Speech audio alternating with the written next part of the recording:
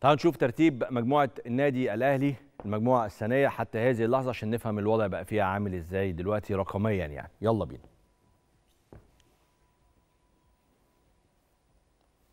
سان داونز في الصدارة ب 11 نقطة وضمن الصعود وضمن الصعود. الحاجة الوحيدة اللي ما تخلوش أول الحاجة الوحيدة اللي ما تخليش سان داونز يتصدر هذه المجموعة إن لا قدر الله الهلال يكسب الأهلي في القاهرة.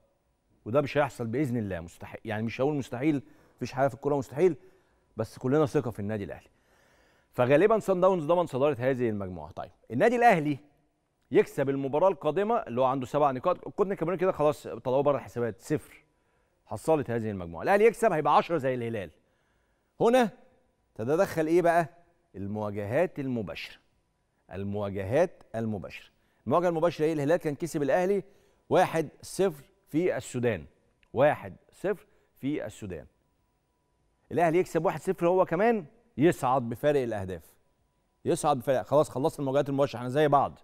هنبقى زي بعض في المواجهات المباشرة لما الأهلي يكسب 1 0 تمام؟ فهنبص على فرق الأهداف هتبقى مصلحة النادي الأهلي. خلاص دي على جنب.